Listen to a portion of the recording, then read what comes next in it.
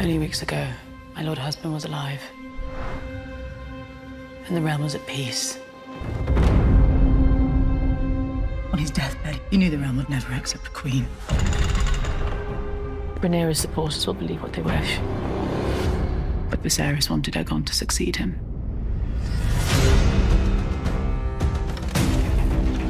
They wish now not for the good of the realm, but for the satisfaction of vengeance. Plot against the king, and I will pay it back a hundred times over. I'm as fearsome as any of them. You have no idea the sacrifices that were made to put you on that throne. My uncle is a challenge I welcome.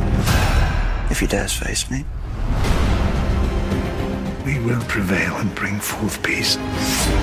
But you must accept that the path to victory now is one of violence. Good. To war, then.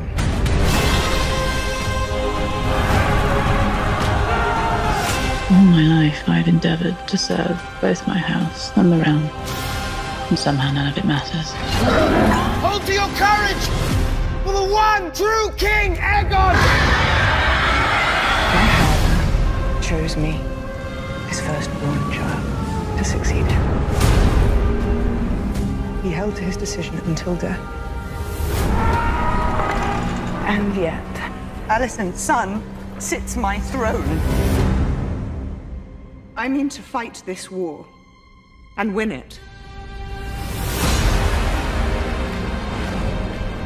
The realm will soon tear itself apart. If men do not remember the oath sworn to King Viserys and to his rightful heir. The Hightowers are marching. You must crush this beast at its head. Our terms are very simple. Renounce the false king and bend the knee to the king, or your house burns.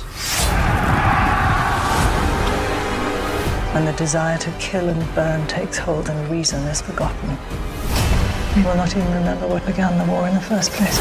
We fight for our queen!